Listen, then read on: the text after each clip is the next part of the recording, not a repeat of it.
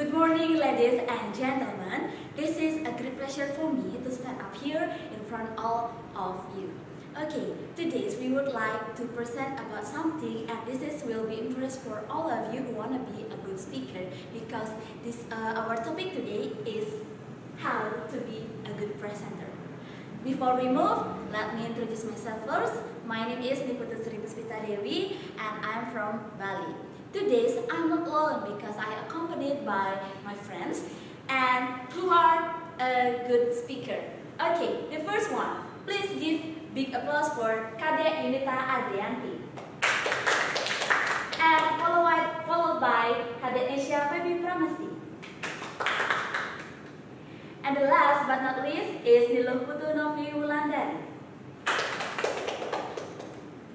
Okay, in this morning, we divided our presentations into two subtopics, which is the first one is use a team that will be explained by the first speaker, which is Kadek, Kadek Yunita Adriyanti. And then the second topic, which is um, master your introduction of your presentations that will be explained by Kadek Nesya Pramesti as the second speakers. And then in the end of our presentations, there will be uh, questions and answer sessions that will be handled by Niluh Putu Novi Wulandari. Okay, uh, let's don't waste our time because the time is so expensive. Uh, let's begin. Please enjoy the presentations. Keep your attentions and for the first speakers, the time is yours.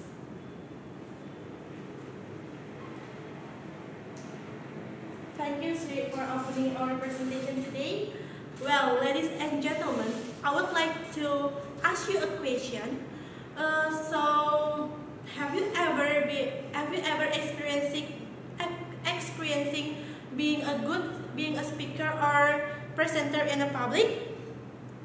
If the answer is yes, then it must be remembered that just uh, standing on the podium and also speaking uh, are not enough to make you being a good presenter.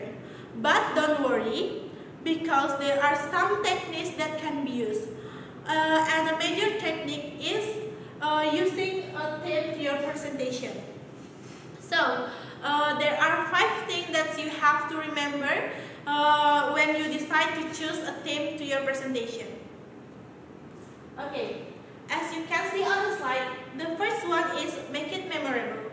Just like a logo or a slogan, a theme uh, must uh, make the audience to remember uh, about your, your presentation. And then second one, keep it simple. Uh, the theme should both simple and consistent because um, you, know, you have to make your audience easier to memorize uh, your theme. And then be practical. Your theme should uh, evoke the practicality and the purposes. And then uh, the fourth one is be the role. So uh, one thing that you can do uh, is you can look at all the presentation uh, on the agenda and then you can stabilize your team and don't forget to use it. And then the last but not least is consider your objective. So uh, a team should recall the purposes or the mission for your presentation.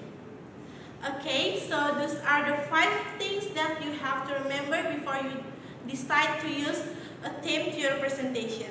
But besides using a, a good theme to your presentation, it's also important to mastering your uh, the introduction uh, to your presentation.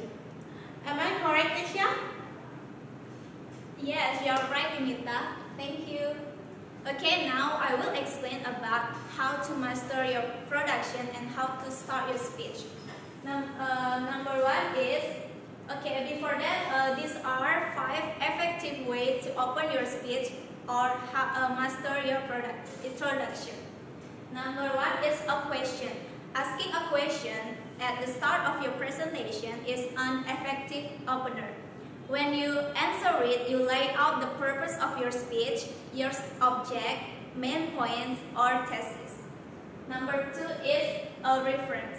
You can make a reference into a time or event, history, politics, or sport.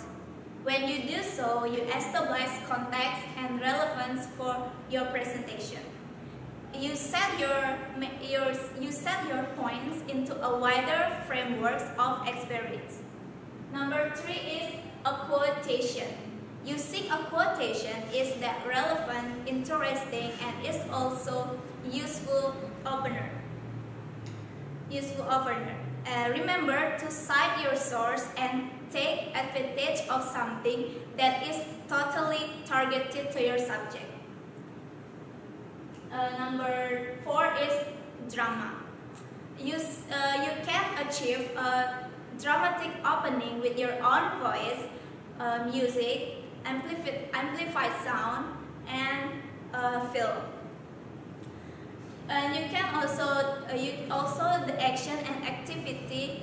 You can use the action and activity to make a good, uh, make a dramatic opening. And the, uh, the five is humor. Using humor is using humor to open your presentation is effective way to set your tone of your presentation and establish affinity with your audience. You can combine this opener with, uh, with a, a witty uh, quotation and dictionary definition and dictionary definition. I think that's all about how to master your introduction and how to start your speech. Now the next section will be uh, will be continued with Novi.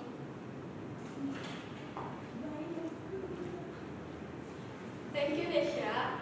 Uh, okay, I hope that was clear now. Uh, is there any question? Okay, because there is no question, uh, we will close our presentation today. Uh, before that, uh, let's conclude our topic today. Um, it, is important to use a theme in your presentation to make uh, to make uh, your presentation more interesting and also uh, easy to understand it. There are five things in bear mind thought when when uh, when you use a theme in your presentation. The first one is make it memorable. The second one is keep it smile. The third one is be practical. The fourth one is be thorough. The last is consider your objective. Besides choosing uh, your theme in your presentation, uh, master your, uh, the introduction uh, to your presentation also important because uh, be uh, a good a good presentation a good presentation uh, is uh, a good presentation can be assessed by looking the way that presenter introduce her or himself, her or himself, uh, and the topic. Uh, there are five effective ways to open your speech. The first one is a question. The uh, second one is a reference. The third one is a quotation. And the fourth one is uh, drama, and the last but not least is humor. Uh, okay, that's all about our topic today. Hopefully, you can apply uh, what we have discussed today uh, uh to your presentation, uh, to your performance in your presentations, so that you can be a good presenter. Thank you. See you and have a nice day.